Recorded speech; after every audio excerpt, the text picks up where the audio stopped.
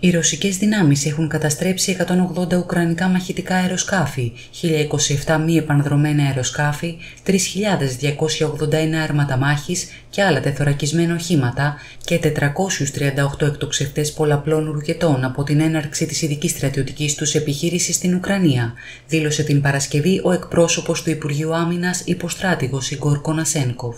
Συνολικά οι ακόλουθοι στόχοι έχουν εξουδετερωθεί από την έναρξη της ειδικής στρατιωτικής επιχείρησης, 180 αεροσκάφη, 127 ελικόπτερα, 1027 μη επανδρομένα αεροσκάφη, 324 πυραυλικά συστήματα εδάφους αέρος, 438 πυραυλικά συστήματα πολλαπλών εκτοξεύσεων, 1693 πυροβόλα και όλμη πεδίου και 3.218 ειδικά στρατιωτικά μηχανοκίνητα οχήματα, δήλωσε ο εκπρόσωπος προσθέτοντας ότι έχουν επίσης καταστραφεί πάνω από 3.280 άρματα μάχης και άλλα τεθωρακισμένα οχήματα μάχης.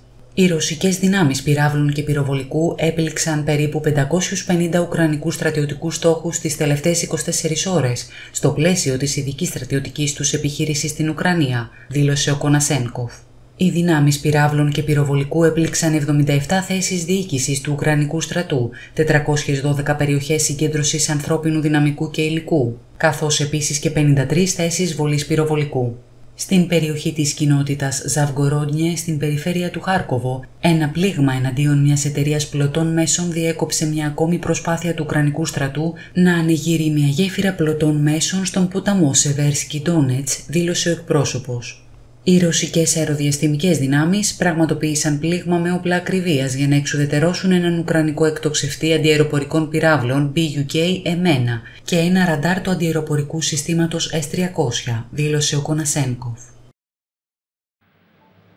Ευχαριστούμε που μας παρακολουθήσατε.